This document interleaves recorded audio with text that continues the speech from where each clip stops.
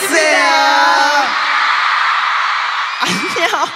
안녕하세요. 저희 빅뱅 나이트 클럽 최고의 트로트 가수 대성입니다.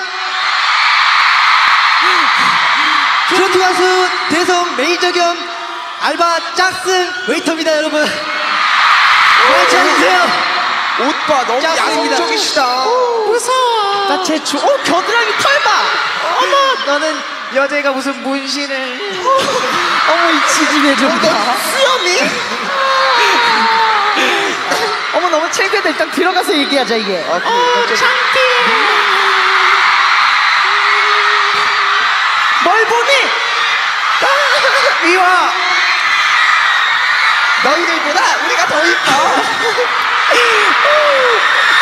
어, 우리 아이돌 어, 맞아. 너무 멋있다. 이미지가 그냥. 자, 우리가 이렇게까지 수고를 하면서 여러분들께 좋은 모습 보여주려고 이렇게 노력을 했습니다. 네, 그러면은 바로 다음 무대 분위기 다운되기 전에 이어가도록 하겠습니다.